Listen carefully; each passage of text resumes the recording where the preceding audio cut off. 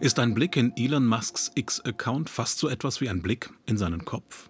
Was treibt den Mann um? Es ist eine ziemlich wilde Mischung. In nur ein paar Tagen agitiert er gegen möglichen Wahlbetrug in Venezuela. Er zeigt die Ausschreitungen in England, den Protest gegen unerwünschte Einwanderung. Immer wieder der Kampf gegen die angeblichen Lügen der angeblichen Mainstream-Medien. Und neuerdings eben auch gegen Harris und für Trump.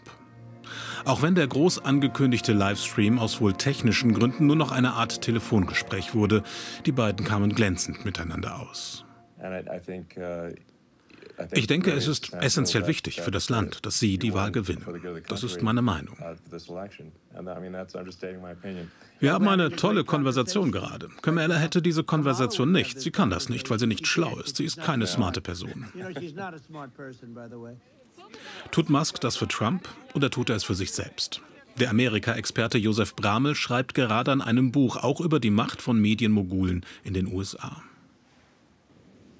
Musk ist ähnlich wie Trump narzisstisch veranlagt. Äh, wer seine ja, Biografie sieht, weiß, äh, dass es dem Mann äh, zuallererst um ihn selber geht, äh, seine Grandiosität auszuspielen. Er hat jetzt mit Trump seinen Herrn und Meister gefunden. Also der Lehrling Musk äh, dient sich jetzt dem Meister an und will durch dessen Größe äh, ja nicht nur Amerika größer machen, sondern vor allem sich selber. Manchmal könnte man den Eindruck gewinnen, Elon Musk selbst will in die Politik, wenn er sich mit Regierungschefs trifft in Indien, in Frankreich, in der Türkei. Dass er Twitter gekauft und zu X gemacht hat, hat ihn mächtiger werden lassen, beobachtet Dennis Fries vom Düsseldorfer Institut für Internet und Demokratie.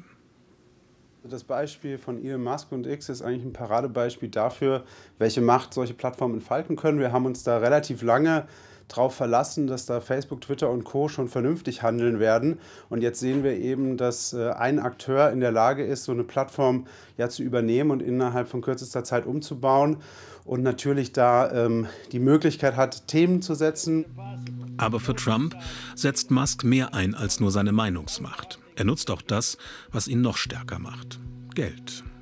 Er rekrutiert mittlerweile auch Tausende von Mitarbeitern, Freiwilligen, die hier von Haus zu Haus gehen, also das klassische Canvassing machen und hier massiv in den Wahlkampf eingreifen. Also es ist nicht nur der Luftkrieg über die Medien, wie man in Amerika schon sagt, sondern auch der Bodenkrieg von Haus zu Haus und hier ist Musk äh, wieder mal vorne mit dabei. Ob er es so schafft, Trump wieder zur Macht zu verhelfen und was will er noch? Auf viele Fragen gibt es auch hier noch keine Antworten.